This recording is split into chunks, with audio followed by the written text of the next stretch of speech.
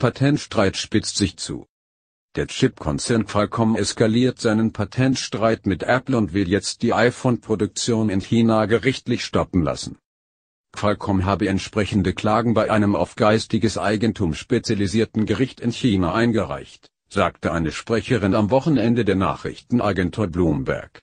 Apple nutzt von Qualcomm erfundene Technologien, ohne dafür zu bezahlen, erklärte sie.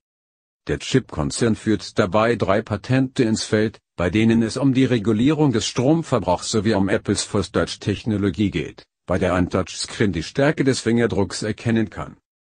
Die Patente gehören nicht zum Grundstock technischer Standards und das lässt Qualcomm freiere Hand. Forderung nach Verkaufsverboten auf Basis von Standardpatenten können für Probleme mit Regulierungsbehörden sorgen. Ein Apple-Sprecher erklärte, in den vielen Jahren unserer Verhandlungen mit Qualcomm ist über diese Patente nie gesprochen worden. Er zeigte sich sicher, dass der Vorstoß von Qualcomm vor Gericht scheitern werde. Das Qualcomm-Geschäft hat zwei Säulen. Der Konzern ist einer der größten Anbieter von Chips für Smartphones und verkauft zugleich Patentlizenzen auf verschiedenste Technologie. Der erste Bereich bringt mehr Umsatz und der zweite einen Großteil der Gewinne.